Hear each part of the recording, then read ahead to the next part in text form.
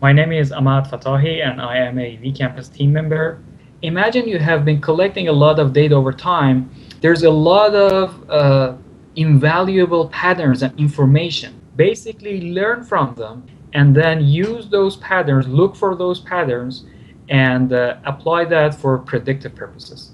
We will be talking about machine learning, how to extract uh, more information by learning from the data that you have already stored in your PI system. Let me give you a very simple example. So I was sitting in the NOC room for, for a week, and on the fourth day, my coworker sneezed once, twice.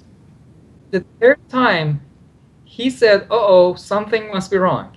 I was like, "What? You have been sneezing all week long so far. You know, it, it's the twentieth time."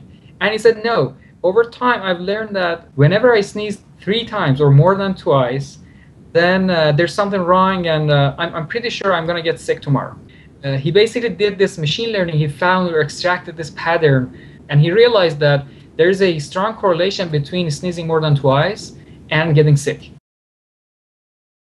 We'll be talking about uh, SQL Server analysis services and a data mining client add-in to Microsoft Excel, as well as a MATLAB by MathWorks, which also integrates with the PI system very well. Also, we'll walk you through all the uh, steps that you need to, to make your model, uh, to train your model, and then make predictions. So if you would like to take more value out of your PI system by uh, trying to find and extract useful and meaningful patterns, this presentation is for you.